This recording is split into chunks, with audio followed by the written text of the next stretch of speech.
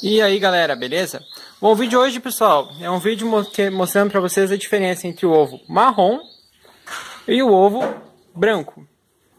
Muita, muita gente acha que tem uma grande diferença é, do gosto do ovo, do, dos questões nutricionais, e eu vou falar para vocês um pouquinho sobre isso, que não é bem assim.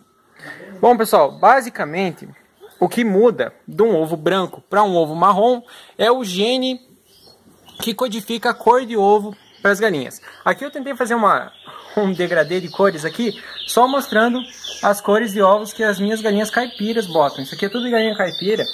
E no vídeo não vai dar para ver muito bem, mas esses ovos aqui, eles visualmente, é, sem ser pela câmera, eles têm uma diferença interessante de cores. Mas aqui parece que é tudo mais ou menos igual, mas não é.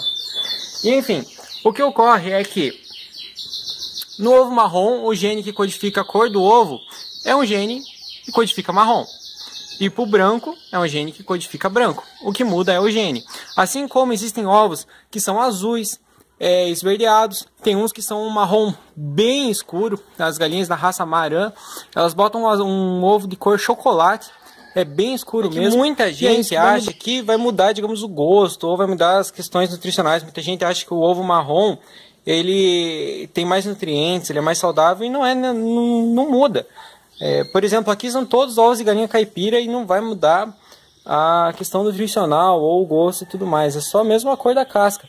Então, ah, vou no mercado e vou comprar ovo, ovo marrom porque ele é melhor. Não, não necessariamente, tá? Então, o que muda mesmo é a cor, é o gene, é uma questão genética. Assim como tem os diluidores. Então, esse aqui, ó, ele é um marrom puxando mais pro claro. Esse aqui, ó, também e assim como tem o verde, tem o azul e tem o, marrom mais escuro. Então é só para tentar desmistificar um pouquinho essa questão de que o ovo marrom ele é mais saudável ou tem um gosto diferente ou nutrientes diferentes.